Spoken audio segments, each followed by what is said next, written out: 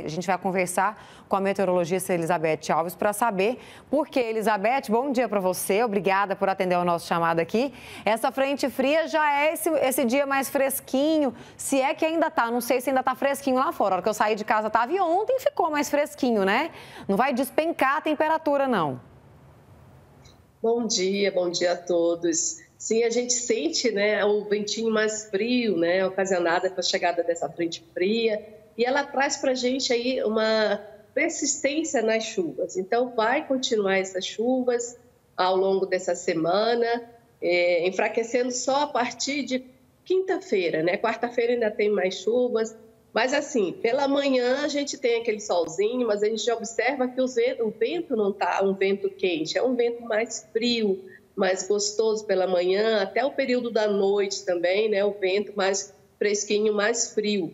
O período da tarde, sim, quando tem abertura de sol, fica quente, mas não tão quente. As temperaturas ontem, por exemplo, foi 31, 32 graus aqui em Goiânia, e no restante do estado não passou aí de 34 graus, que às vezes chega aí até a 36 mais ao norte, mas também até o norte as temperaturas não estão tão elevadas.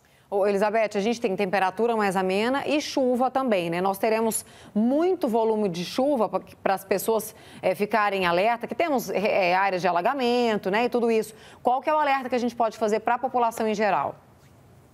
Sim, uh, nós estamos né, hoje até amanhã também, é mais na parte noroeste do estado é, e também na parte sudoeste do estado. Então, esses dois pontos, eu diria assim, que são é, mais é, condições de chuva mais intensas. Nos outros pontos vão ocorrer chuva, mas dentro daquilo que a gente considera normalidade, né? Então, é, sim, é, em termos de avisos, ficarmos atentos essa semana, né? É, né? Principalmente na parte aí centro-sul do estado e depois ela vai subir mais, pegar mais a parte norte também do estado. Então, na quarta-feira também tem uma condição ali de chuva mais intensa para a região mais ao sul, região de Tumbiara, Catalão, né? É, é, tem uma condição assim na madrugada de chuva mais intensa para lá. Então ficar atento, né? É, é essa semana ainda sob essas condições e a gente está no início desse período chuvoso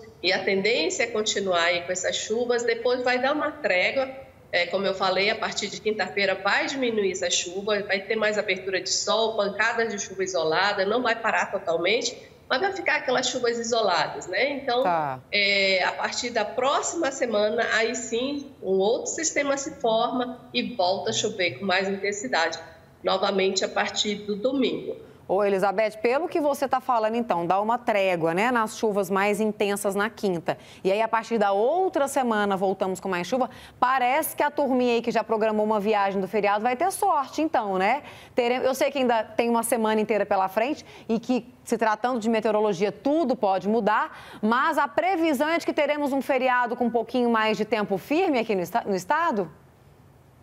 Sim, sim. Ah, essa condição aí, né, de mais abertura de sol, dá para aproveitar também aí, né, o, o, feriado. E aí sim, da próxima é, semana, aí vem essa condição de chuva, de, do sistema, né, as frentes frias chegando com mais intensidade, traz aí é, mais chuvas aqui para nossa região. Okay. Então, dá para aproveitar, né, uhum. tem alguns pontos. Não esquecer também que é como você falou, é previsão. Sim. Então, às vezes, pode mudar de uma hora, ainda mais aí que está no início ainda dessa mudança, né?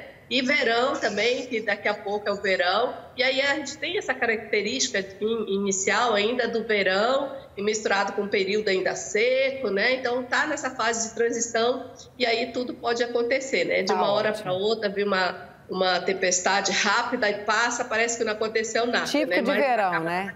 Tá ótimo, querida. Obrigada, Exatamente. viu? Obrigada pela participação aqui conosco. Boa semana para você. Boa semana para todos.